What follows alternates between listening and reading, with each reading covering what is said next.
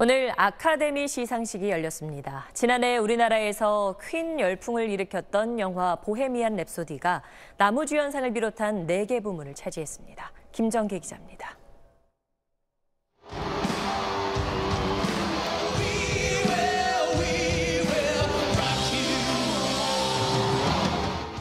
아카데미 시상식 개막 무대를 연 영국의 전설적 록밴드 퀸.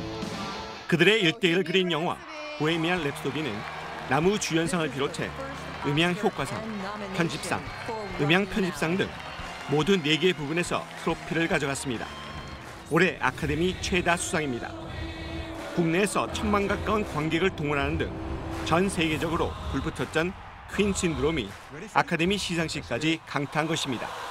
One, I'm so appreciative to all of you, to everyone who has had a hand in, in getting me here. 라미 말렉은 골든 글로브, 미국 배우 조합상에 이어 아카데미상까지 거머쥐면서 올해 최고의 배우로 이름을 올렸습니다. Do you foresee any issues in working for a black man?